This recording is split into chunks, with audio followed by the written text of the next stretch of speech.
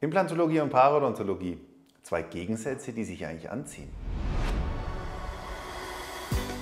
Implantologie und Parodontologie, liebe Kolleginnen und Kollegen. Ein Thema, das über die letzten Jahre mehr und mehr an Schwerpunkt gewonnen hat.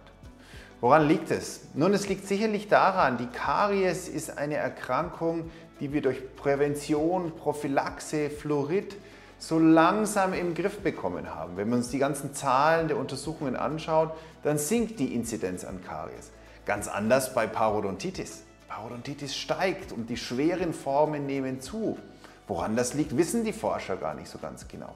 Nichtsdestotrotz brauchen wir Therapie bei diesen Patienten und die Therapie muss bedeuten, Parodontitis zu behandeln, aber eben auch in manchen Fällen, wo wir die Parodontitis nicht behandeln können, Implantate zu setzen. Und darum wird es gehen, Implantate und Parodontitis-Behandlung. Implantologie und Parodontologie, das ist mein Thema hier.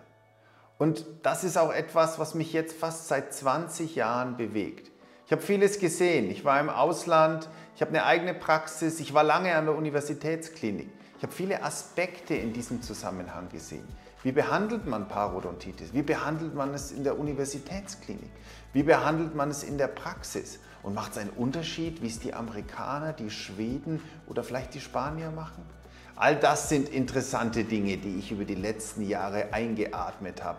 Und die Essenz davon, die möchte ich mit Ihnen teilen. Was sollen Sie mitnehmen von diesen Kursen?